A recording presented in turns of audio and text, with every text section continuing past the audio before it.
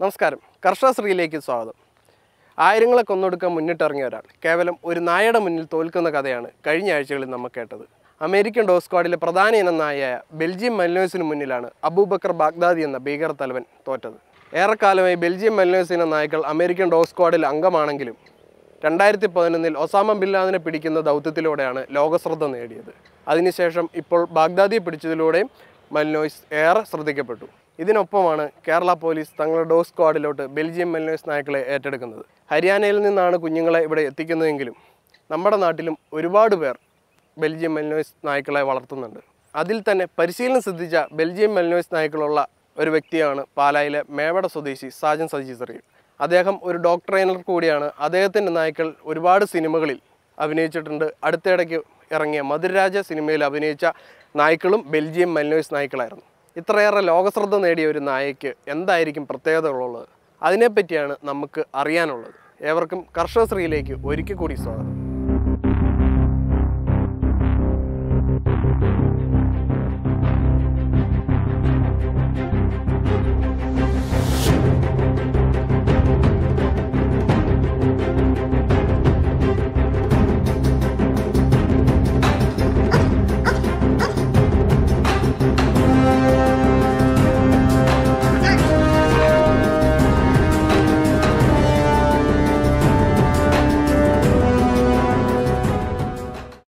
Belgium Malinois എന്ന് പറഞ്ഞാൽ Belgia Belgium ആണ് ഇതിന്റെ സ്വദേശം. ബെൽജിയത്തിൽ അധികം ശ്രദ്ധിക്കപ്പെടാതെ എഴുതുന്ന ഒരു ഡോഗാണ്. അവരുടെ ഈ കഴിവും കാര്യങ്ങളൊക്കെ കൊണ്ട് ഇപ്പം പുറത്ത് ആർമിയിലൊക്കെ കൂടുതൽ ഏറ്റവും കൂടുതൽ യൂസ് ചെയ്യുന്നതാണ്. ഇപ്പോൾ ഇവന്റെ ഒരു കഴിവൊക്കെ കൊണ്ട് ഞങ്ങൾക്കൊക്കെ നേരത്തെ അറിയാമായിരുന്നു ഇവന് എന്നാണേലും ഇതുപോലെ ആൾക്കാരിൽ ഇനി ഒരു വരുന്ന ഒരു ബ്രീഡായിരിക്കും കൂടുതലായിട്ട് നമുക്ക്.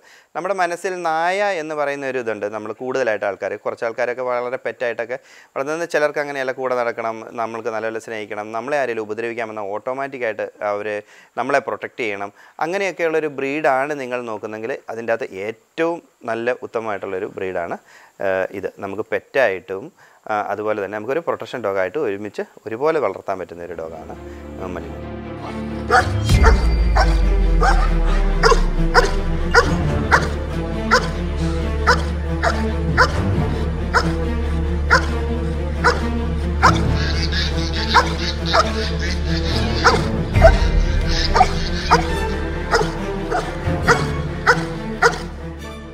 മലിനോയ്സിനെ ഞാൻ എടുക്കാൻ കാരണം നമ്മൾ ഡോഗിനെ ട്രെയിൻ ചെയ്യുന്ന സമയത്ത് ജർമ്മൻ ഷെപ്പേർഡ് ലാബ് ബാക്കി ഡോഗിനെ ട്രെയിൻ ചെയ്യുന്ന സമയത്ത് ഇങ്ങനെ ഒരു കേട്ടുകേൾവി ഉണ്ടായിരുന്നു. ട്രെയിനറുടെ ഇടയ്ക്ക് ഒരു നല്ല ഡോഗാണ് ട്രെയിൻ ചെയ്യാൻ എളുപ്പമാണ് ട്രെയിനിങ്ങിന് മിടുക്കനാണ്.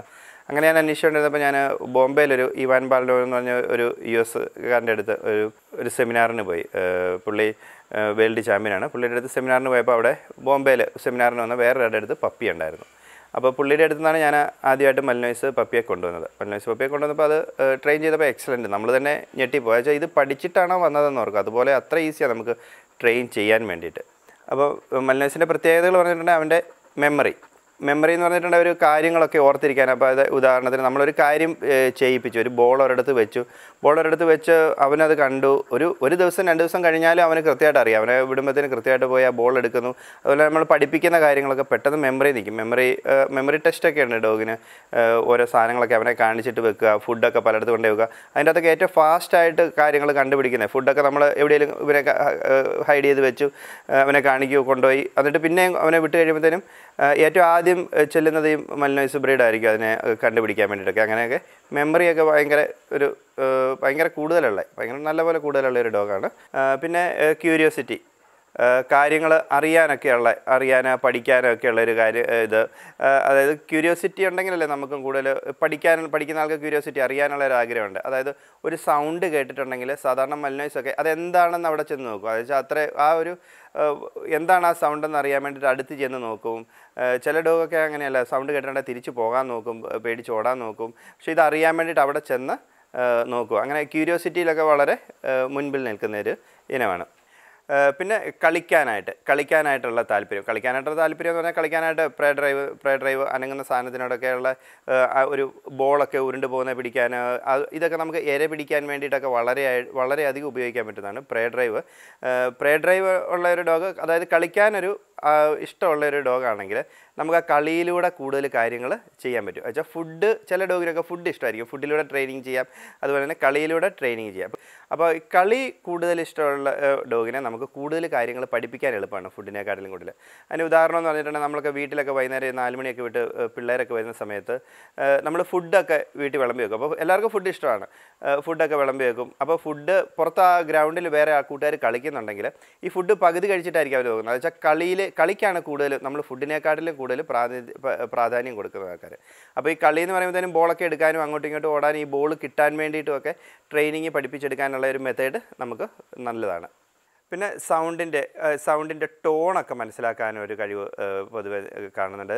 സൗണ്ടിന്റെ നമ്മളിപ്പം സ്നേഹത്തോടെ പറയുന്നു വഴക്ക് പറയുന്നു മീഡിയമായിട്ട് പറയുന്നു അങ്ങനെ ഈ പെട്ടെന്ന് ചെയ്യേണ്ട കാര്യങ്ങൾ പറയുന്നു അങ്ങനെയൊക്കെ സൗണ്ടിന്റെ ടോണൊക്കെ സൗണ്ടിന്റെ ടോൺ മനസ്സിലാക്കാൻ കഴിയുന്നതുകൊണ്ട് നമുക്ക് കമാൻഡുകളും പെട്ടെന്ന് മെമ്മറിയിലും അതൊക്കെ മനസ്സിലാക്കാൻ വേണ്ടിയിട്ട് വരും. നമ്മുടെ ആ സൗണ്ടും കാര്യങ്ങളൊക്കെ മനസ്സിലാക്കി നമുക്ക് നമുക്ക് ട്രെയിനിങ്ങിനൊക്കെ എന്തെങ്കിലും ഒരു കാര്യത്തിനൊക്കെ ഉപയോഗിക്കുവാണെങ്കിൽ നമുക്ക് കുറച്ചുകൂടി ഈസി ആയിട്ടൊക്കെ നമുക്ക് പറഞ്ഞ് ഉപയോഗിക്കാൻ പറ്റും.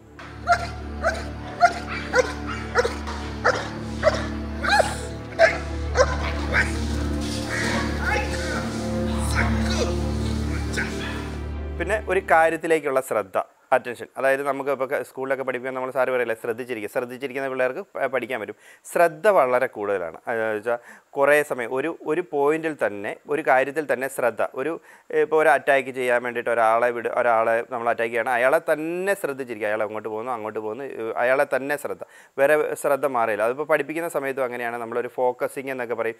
ഇപ്പോൾ ഓണറാണെങ്കിൽ ഓണറെ തന്നെ നോക്കി നമ്മുടെ വീഡിയോയിലൊക്കെ കാണാം. ഓണറെ തന്നെ നോക്കി. ഓണറെ തന്നെ ശ്രദ്ധിച്ചായിരിക്കുന്നത്. ഓണറെ ആ ഒരു സൗണ്ടിൽ ശ്രദ്ധയുണ്ട്. വേറെ ശ്രദ്ധ മാറുന്നില്ല വേറെ കാര്യത്തിലൊക്കെ. ആ ഒരു ശ്രദ്ധയൊക്കെ കൂടുതലുള്ളത് കൊണ്ട് നമുക്ക് പഠിപ്പിക്കാനും നമ്മുടെ ഒരു ജോലി ചെയ്യിപ്പിക്കാനും ജോലി എന്ന് പറഞ്ഞാൽ നമുക്ക് സ്മെൽ വർക്ക് ആകട്ടെ പ്രൊട്ടക്ഷൻ ആകട്ടെ അതൊക്കെ ചെയ്യിപ്പിക്കാൻ വേണ്ടിയിട്ട് വളരെ എളുപ്പമായിരിക്കും അത്.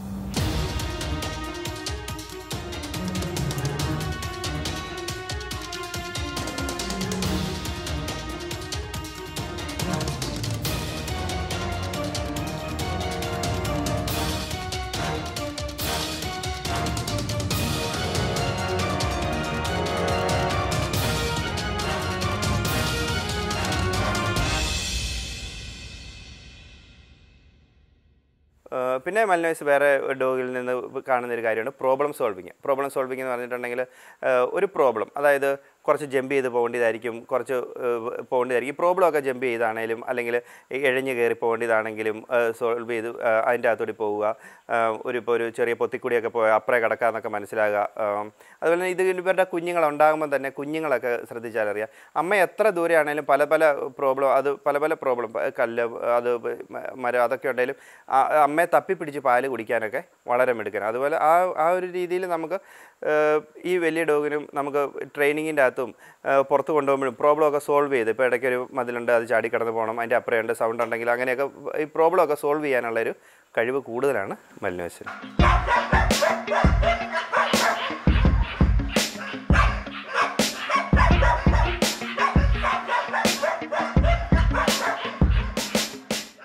മൽനോസിന്റെ പപ്പി എന്നൊക്കെ പറഞ്ഞിട്ടുണ്ടെങ്കിൽ സാധാരണ പപ്പികളൊക്കെ സോഫ്റ്റ് ആയിട്ടുള്ള കാര്യങ്ങളൊക്കെ ആയിരിക്കും കൂടുതൽ എടുത്തുകൊണ്ട് വരുന്നത് സോഫ്റ്റ് ആയിട്ട്. ചിലതൊന്നും റിട്രീവ് ചെയ്യാൻ ചിലത് റിട്രീവ് ചെയ്യുകയില്ല ചിലത് സോഫ്റ്റ് ആയിരിക്കും.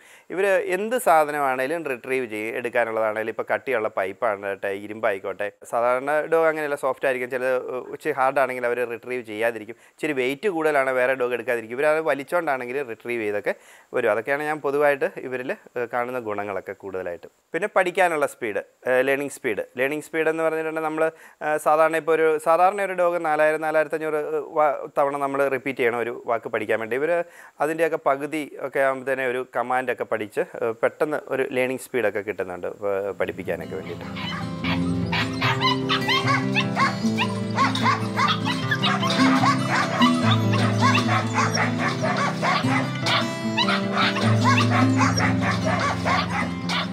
മൽനോയ്സിന്റെ പപ്പി ഇതൊക്കെയാണെങ്കിലും നമ്മൾ കൂടുതൽ പ്രിഫർ ചെയ്യുന്നതെന്ന് പറഞ്ഞിട്ടുണ്ട് ആൾക്കാർക്ക് നേരത്തെ അതായത് ചെറുപ്പത്തിൽ ഇവർ നല്ല കുസൃതികളാണ് സാധനങ്ങളൊക്കെ ഞാൻ ഈ ഒരു ഇതുള്ളത് കൊണ്ട് ബ്രില്യന്റ് ആണ് ഡോഗ് അതുപോലെ തന്നെ കുറച്ച് കടിച്ചുകൊണ്ട് നടക്കാനും കടിച്ച് കിട്ടുന്ന തുണികളൊക്കെ കടിച്ച് കീറാനും അതുപോലെ തന്നെ അനങ്ങുന്ന സാധനത്തെ കടിക്കാനും ഒക്കെ ഉള്ളൊരു ടെൻഡൻസി ഉണ്ട്. അപ്പോൾ അതുകൊണ്ട് നമ്മൾ പുതിയതായിട്ട് വളർത്താൻ വളർത്തുന്നവർക്ക് ആദ്യമായിട്ട് എടുക്കുന്ന ഒരു ഡോഗിനെ വളർത്തുന്നവർക്ക് നമ്മളൊരിക്കലും അത് ഈ ഡോഗിനെ നമ്മൾ പ്രിഫർ ചെയ്യുന്നില്ല. ചില അവർ കാലിലൊക്കെ ചെറുതായിട്ട് കടിക്കുകയൊക്കെ ചെയ്യുമ്പോൾ അവർക്ക് പേടിയാവും പിന്നെ അവർക്ക് അത് പ്രേ ഡ്രൈവ് അവരത് അനങ്ങും ഓടുകയൊക്കെ ചെയ്തിട്ടുണ്ട്. അത് പിന്നെയും കൂടുതൽ ചെറിയ ഡോഗുകളൊക്കെ കാലിലൊക്കെ കടിക്കാനൊക്കെ വേറെ ഡോഗിനെക്കാട്ടിൽ കൂടുതൽ കടിക്കാനൊക്കെ ഉള്ളൊരു ഇതുണ്ട്. പിന്നെ രണ്ടാമത്തെ കാര്യം എന്ന് പറഞ്ഞാൽ ഡോഗിനെ വളർത്തി പരിചയമുള്ളവരാണെങ്കിൽ നമുക്ക് കുറച്ചൊക്കെ കാര്യങ്ങൾ അറിയാം ഡോഗിന്റെ കുറച്ചൊക്കെ കാര്യങ്ങൾ. ഈ മൽനോയ്സ് കുറച്ചുകൂടിയൊക്കെ ബ്രില്യന്റ് ആയതുകൊണ്ട് നമ്മളെ അവന്റെ രീതിയിലേക്ക് വരുത്താൻ വേണ്ടിയിട്ട് അറിയാം. ഇപ്പോൾ ചിലരൊക്കെ നമ്മുടെ ഇവിടെ ട്രെയിനിങ്ങിന് വരുമ്പം നമ്മളോട് പറയും എന്നുവെച്ചാൽ ഏഴ് മണിയാകുമ്പോൾ അവൻ കുരയ്ക്കും അവന് ഫുഡ് വേണം. അതുപോലെ തന്നെ ആറ് മണിയാകുമ്പോൾ അവന് ഇത് ചെയ്യും അവന് ഇത് വേണം. അതെന്നാ ചോദിച്ചിട്ടുണ്ടെങ്കിൽ ഡോഗ് അവരെ ഈ ഓണറെ ഒരു ജോലിക്കാരനാക്കി വെച്ചേക്കുവാണ്. അവർക്ക് മനസ്സിലാകുന്നില്ല. എന്നുവെച്ചാൽ അവന്റെ കാര്യങ്ങളൊക്കെ ചെയ്യിപ്പിക്കുന്നത് കുറയ്ക്കുമ്പോൾ അവ- അവനവർക്ക് തന്നെ അവനെ പേടിച്ച് ചെയ്യുന്നതാണ്. അപ്പോൾ ഈ മൽനോയ്സ് എന്ന് പറഞ്ഞാൽ കൂടുതൽ ബ്രില്യന്റ് ആയതുകൊണ്ട് കൂടുതൽ കൂടുതൽ കാര്യങ്ങൾ അവരെ കൊണ്ട് അവന്റെ സകല ജോലികളും ചെയ്യിപ്പിക്കും. പക്ഷേ അത് വീട്ടുകാർക്ക് മനസ്സിലാകുകയില്ല. അപ്പോൾ ഒരു ഇച്ചിരി വളർത്തി പരിചയമുള്ളവർക്കൊക്കെ ആയിരിക്കും ഇത് എടുക്കാൻ ഇത്. പിന്നെ ഇച്ചിരി ലീഡർഷിപ്പ് ഒക്കെ കൂടുതലുള്ള ആൾക്കാർ അവർക്കൊക്കെ നല്ലതായിരിക്കും. വെച്ചാൽ അവർ അനുസരിക്കാനും ഇവരെ അനുസരിക്കാനും ഒക്കെ ഉള്ളൊരു ഇത് കൂടുതൽ അങ്ങനെയുള്ള ആൾക്കാരായിരിക്കും. ഒരു ലീഡർഷിപ്പ് ഒക്കെ കൂടുതലുള്ളതായിരിക്കും. ഒത്തിരി പേ ഡോഗിനെ പേടിയുള്ള ആൾക്കാരും ടൈം ഇല്ലാത്തവരും ഒക്കെ ഇവരെ എടുക്കാതിരിക്കുമായിരിക്കും നല്ലത്. ഈ ടൈം ഉള്ളവർക്കും കുറച്ച് ഡോഗിനെ പരിചയമുള്ളവർക്കൊക്കെ വളർ മേടിച്ചിട്ടുണ്ടെങ്കിൽ ഭയങ്കര എക്സലന്റ് ആയിട്ടുള്ള ഒരു ബ്രീഡാണ് നല്ല രീതിയിലുള്ള ഒരു ബ്രീഡാണ് പിന്നെ എന്താണെങ്കിലും ട്രെയിനിങ് കുറച്ച് കൊടുക്കണം. വെച്ചാൽ മൽനോയ്സ് എപ്പോഴും നമ്മളോട് പറയുന്ന ഒരു കാര്യമുണ്ട്. നിങ്ങൾക്ക് എന്താ വേണ്ടതെന്ന് എന്നോട് പറയുക. വെച്ചാൽ എന്താണ് നിങ്ങൾക്ക് വേണ്ടത്? അത് പറയാം. അപ്പം നമുക്കൊരു ട്രെയിനിങ് കൊടുത്തിട്ടുണ്ടെങ്കിൽ നമുക്ക് വേണ്ട കാര്യങ്ങൾ അവനോട് മനസ്സിലാക്കി കൊടുക്കാൻ വേണ്ടിയിട്ട് പറ്റും. അതുകൊണ്ട് എടുക്കുന്നവർക്ക് ഒരു ട്രെയിനിങ് കൊടുത്ത് വളർത്തുന്നത് വളർത്തുന്നത് നല്ലതെന്നല്ല വളർത്തേണ്ടത് അത്യാവശ്യമാണ്.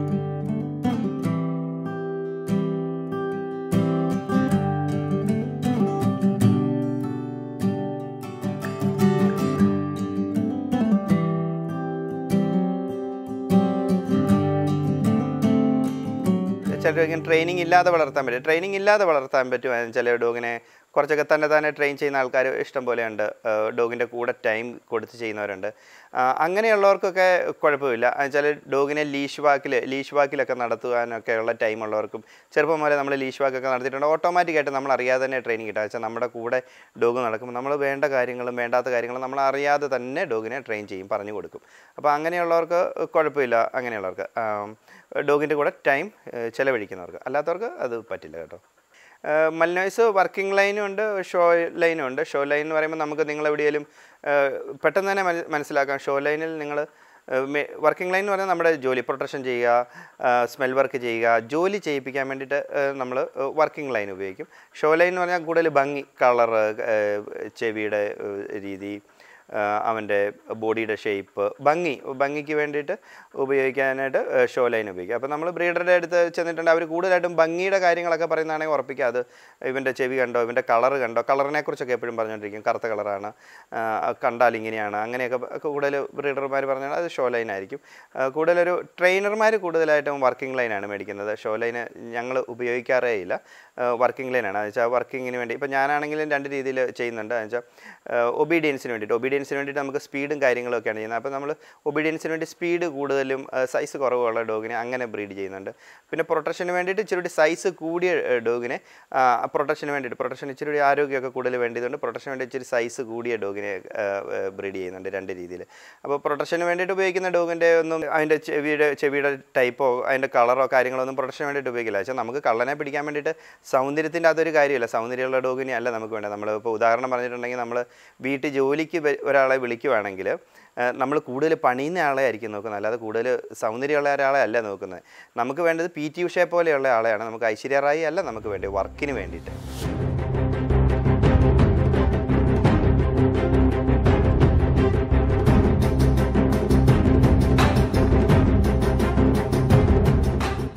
ബെൽജിയത്തിലെ ആട്ടിടയന്മാരുടെ ഇഷ്ട ഇനം നായയായിരുന്നു മൽനോയ്സ്. ആടുകളെ ആക്രമിക്കാൻ വരുന്ന ശത്രുക്കളിൽ നിന്ന് അവരെ സംരക്ഷിക്കുക എന്നുള്ളതായിരുന്നു ഈ ഇനം നായകളുടെ ദൗത്യം. അതുതന്നെയാണ് അവർ ഇപ്പോഴും ഡോഗ് സ്ക്വാഡിന് വേണ്ടി വിവിധ രാജ്യങ്ങളിൽ സേവനമനുഷ്ഠിച്ച് ചെയ്യുന്നത്. ബെൽജിയം മെൽനോസ് നായകളുടെ കരുത്തും ബുദ്ധിയും കഴിവുമെല്ലാം കേരള പോലീസിന് മുതൽക്കൂട്ടാവട്ടെ എന്ന് ആശംസിച്ചുകൊണ്ട് കർഷകശ്രീ വിടവാങ്ങുകയാണ്. ഇനി മറ്റൊരു വിശേഷമായി വീണ്ടും വരാം. Good bye